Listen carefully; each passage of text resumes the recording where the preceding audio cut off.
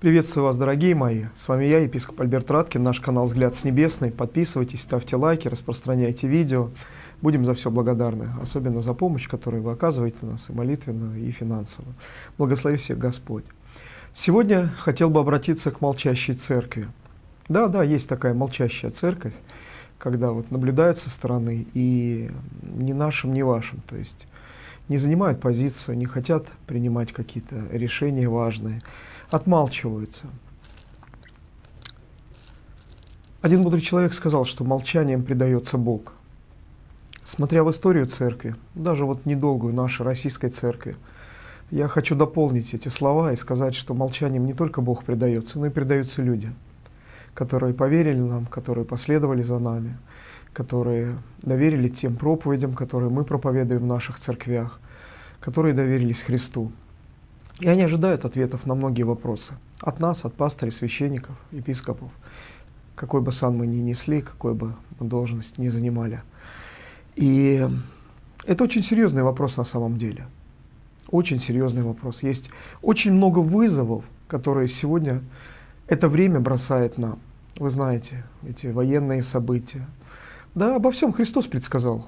В Священном Писании мы, считаем, мы читаем, что не надо ужасаться, не надо бояться всех событий, которые грядут э, в последние времена. Голоды, моры, восстанет народ на народ, царство на царство. Будут э, много всего.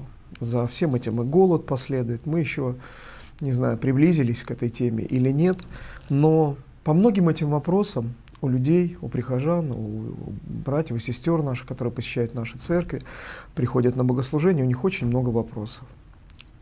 И не всегда священники, пастыри находят ответы на, а, на эти вопросы или не хотят просто отвечать. Потому что говорят, о, это политика, а мы в политику не вмешиваемся. Но мы живем, мы живем среди всего этого. Как мы не вмешиваемся? Когда наших детей забирают в армию и посылают, когда через одного подходят и говорят, мы боимся, что будет мобилизация, что заберут, отправят э, на войну и, э, там, или военную спецоперацию, как бы ни называли. Мы не хотим этого. Знаете, неужели мерило всего это вот э, касается это меня или не касается это меня? Я очень много людей встречал, которых коснулось, вот один этот частный вопрос, да, и, и они сразу же занимают очень, очень, я бы даже сказал, правильную позицию. Они понимают, что война, как Библия говорит, это зло, это большое зло. И тут доходит очень быстро. Но есть те, которые говорят, а меня это не касается. Поэтому я считаю, да этих убивают или тех убивают. Недавно подняли очень важную тему, тему педофилии в церкви. Она есть. Сколько молчать будем? Вот мы что, не учимся на примерах?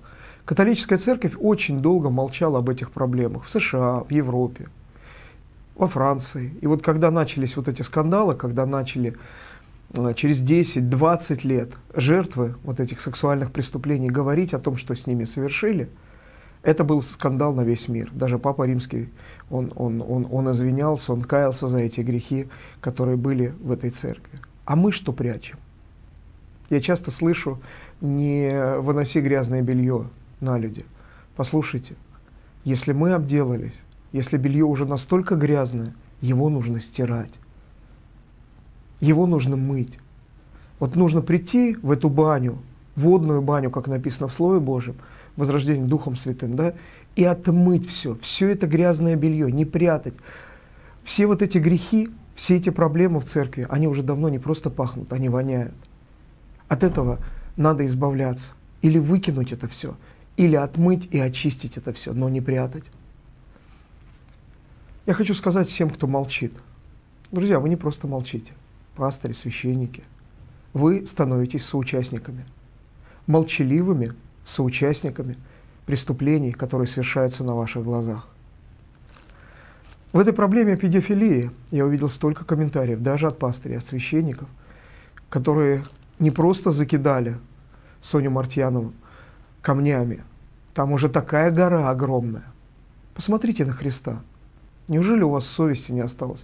Неужели ваши глаза настолько закрыты, что вы не видите эту историю, когда блудницу привели ко Христу? И он сказал тогда эти слова. Кто из вас без греха, первый брось с нее камень. Неужели вы забыли уже Евангелие, дорогие мои братья и сестры? Вместо того, чтобы помочь человеку, протянуть руку человеку, готовы не просто закидать, не просто грязью облить, готовы убить человека за то, что сказал, за то, что вспомнил, за то, что... Да, в России молчат об этих вещах. Другие жертвы молчат, пока молчат. Пока еще молчат. Но если заговорят, что вы будете делать? Молчаливые вы мои, дорогие вы мои, вы соучастники. Мы многие становимся соучастниками, когда мы молчим. И это печально. Это позор для церкви. А люди видят, простые люди, наши прихожане, они видят все. Правильно оценивают все по Евангелию, по Слову Божьему. Упал человек, помоги ему подняться. И одной, и второй стороне. Какой бы ни был конфликт, что бы это ни было. Многие осуждают э, за какие-то вещи э, людям непонятные, там, за политику. Кто-то осуждает за бизнес. Кто-то говорит, не лезьте туда, туда, туда. А как жить? Уйти в катакомбы? Спрятаться от всего? Как соль будет солить, осолять этот мир? Мы с вами.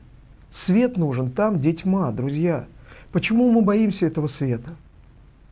Многие говорят мне, пишут в комментариях, там, я несколько видел уже, кто-то в личку очень много пишет, зачем, зачем ты все это показываешь?